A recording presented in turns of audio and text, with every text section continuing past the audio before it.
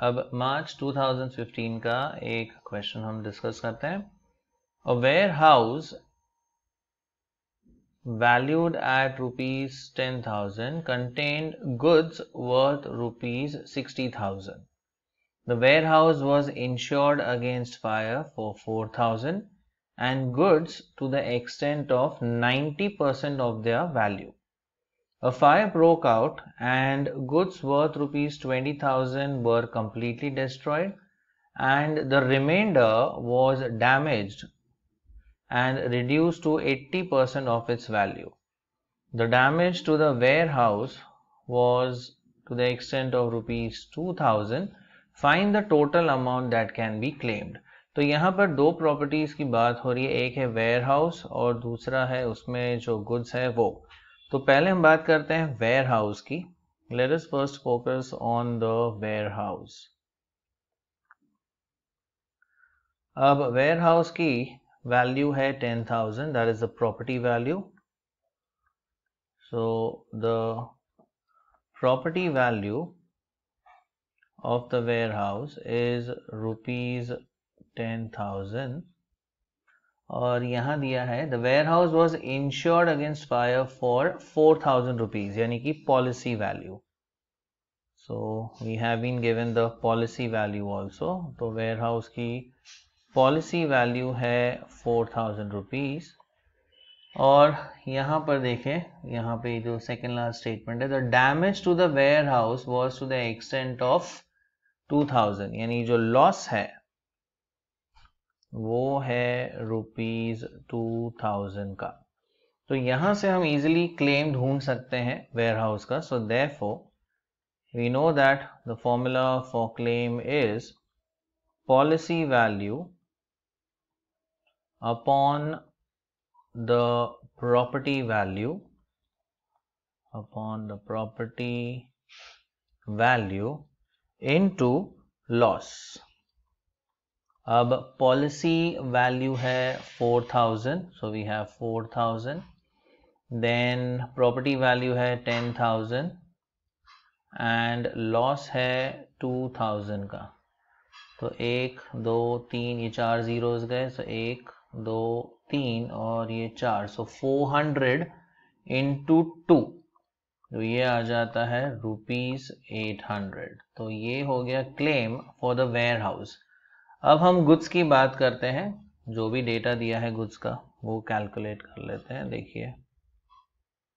अब गुड्स का जो वर्थ है, वो है सिक्सटी थाउज़ेंड यानी इसकी हम प्रॉपर्टी वैल्यू कह सकते हैं sixty thousand so for the goods the property value is sixty thousand next warehouse तो हो गया. The goods were insure to the extent of 90 percent of their value तो पॉलिसी वैल्यू डायरेक्टली नहीं दी हुई है. प्रॉपर्टी वैल्यू की value की वो 90 परसेंट है. So we say the policy value या insured value is 90 percent of the property value that is of sixty thousand तो अगेन एक दो, ये दो जीरोस कट हो गए nine six fifty four so this will be fifty four thousand अब goods को भी डैमेज हुआ है तो वो भी हम ढूंढ लेते हैं दैट इज़ द लॉस देखते हैं क्या क्या लॉस हुआ. तो वेयर हाउस का तो कैलकुलेशन हो गया है. गुड्स का कहा गया है a fire broke out and goods worth rupees twenty thousand were completely destroyed यानी ट्वेंटी थाउज़ेंड का लॉस तो पक्का है। प्लस अभी आगे क्या दिया है? वाइल द रिमाइंडर अब ट्वेंटी थाउज़ेंड के गुड्स तो कंप्लीटली बर्न आउट हो गए, अब रिमाइंडर यानी सिक्सटी थाउज़ेंड में से ट्वेंटी थाउज़ेंड तो चला गया तो बैलेंस बचा फोर्टी थाउज़ेंड। फोर्टी थाउज़ेंड के गुड्स अभी बाकी है but they were damaged, they were also damaged and they were reduced to 80% of its value तो ये जो रिमेनिंग है जो रिमेनिंग गुड्स थे हमारे देखिए। एक तो ये बीस हज़ार का तो लॉस हो गया है ये तो कंप्लीट लॉस हो गया है राइट और जो रिमाइंडर है दैट इज़ जो फोर्टी थाउज़ेंड है इसकी value has come down to 80 percent means जो लॉस हुआ है वो 40,000 का 20 परसेंट हुआ है। अगर वैल्यू हम कहते हैं कि वो 80 परसेंट पे आ गई है तो लॉस कितना हुआ है? 20 percent so this will be 20 percent of the remainder remainder is 40,000 अब 40,000 कैसे है 60 minus 20 so this is 60,000 minus twenty thousand तो ये हमें गुड्स का लॉस मिल जाएगा ये तो twenty thousand plus this will be twenty percent of forty thousand let us calculate ये कितना आता है टोटल तो ये तो आ गया आपका बीस हज़ार प्लस ये दो जीरोस गए फोर टू जाइज एट तो ये हो जाएगा आठ हज़ार. सो गुड्स का जो लॉस होगा वो है ट्वेंटी एट थाउज़ेंड अब यहाँ से हम क्लेम ढूंढ सकते हैं गुड्स का. Again the formula remains the same the policy value policy value was fifty four thousand upon the property value which is 60,000 into the loss. Loss is 28,000 तो ये तीन जीरोस गए। ये भी एक एक zero cut 6 ones are so if we take this product 2800 into 9 that's 25,200 तो यहाँ से क्लेम मिलता है twenty five thousand two hundred लेकिन हमें पूछा गया है टोटल क्लेम तो वेयर हाउस का क्लेम था 800 करेक्ट एंड गुड्स का क्लेम है 25,200 सो देयरफॉर अगर हमें टोटल क्लेम चाहिए तो इन दोनों को हम ऐड कर देंगे। So the total claim is 800 from the warehouse and 25,200 from the goods so total claim आपका आएगा twenty six thousand so this is the total claim अब मार्च 2015 का एक और क्वेश्चन डिस्कस करेंगे। Job production unit has four jobs A B C D तो ये चार जॉब्स दिए हैं A B C D which can be manufactured on each of the four machines P Q R S the processing cost तो ये जो हमें matrix दिया है, ये कॉस्ट मैट्रिक्स है। Of each job is given in the following table how should the jobs be assigned तो ये जो क्वेश्चन है, ये असाइनमेंट प्रॉब्लम का है।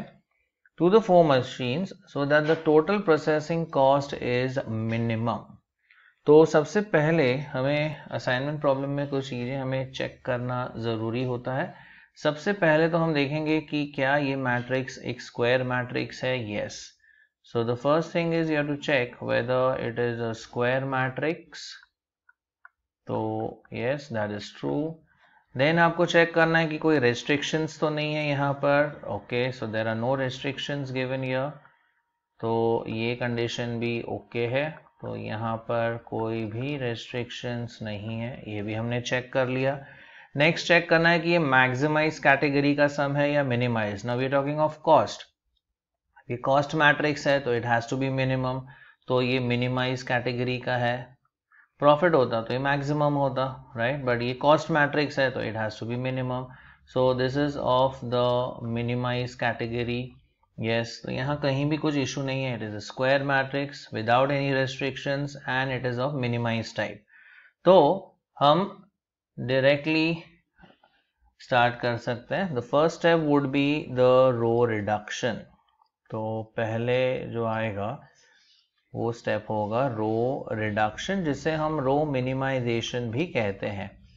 अब फ़र्स्ट रो का स्मॉलेस्ट एलिमेंट ये चार में से जो स्मॉलेस्ट एलिमेंट है, वो है 25 वो थ्रू आउट हम सप्रैक्ट कर देंगे सो so 31 माइनस ट्वेंटी ये आ जाएगा 6 25 minus twenty five will be zero 33 minus twenty five ये आएगा 8 29 minus twenty five this will be four अब सेकेंड रो में स्मॉलेस्ट एलिमेंट है 21 तो 21 सप्रैक्ट करते हैं throughout so 25 minus twenty one that is 4 24 minus twenty one that is 3 23 minus 21 ये है 2 and 21 minus 21 that is 0 third row में smallest value is 19 so we subtract 19 throughout so 19 minus 19 that is 0 21 minus 19 2 23 minus 19 is 4 24 minus 19 is 5 and last row देखते हैं last row में smallest value है 34 so we subtract 34 throughout 38 minus 34 ये हो जाएगा 4 36 minus 34 is 2 34 minus 34 is 0 40 minus 34 is six तो ये तो आ गया हमारा रो रिडक्शन वाला मैट्रिक्स अब नेक्स्ट हम करते हैं कॉलम रिडक्शन देखते हैं। इसी में second step would be column reduction so let us go for column reduction जिसे हम कहते हैं कॉलम मिनिमाइजेशन अब फ़र्स्ट कॉलम में लीस्ट वैल्यू इज़ ज़ीरो तो इस पे तो कुछ फ़र्क नहीं पड़ेगा। सेकंड कॉलम में भी मिनिमम वैल्यू ज़ीरो है सो वी सप्रैक्ट ज़ीरो तो ये एज इट इज़ रहेगा। थर्ड कॉलम में भी लीस्ट वैल्यू ज़ीरो है।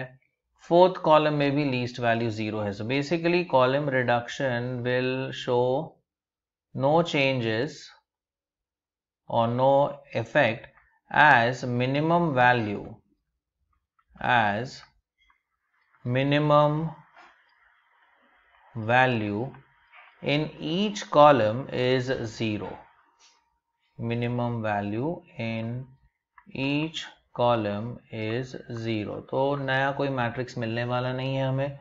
Next is allocation so, step number 3 is allocation. अब रो रिडक्शन में तो कोई नया मैट्रिक्स नहीं मिला तो एक कॉलम रिडक्शन वाला मैट्रिक्स ही हम यूज़ करेंगे। So six zero eight four यहाँ पे है six zero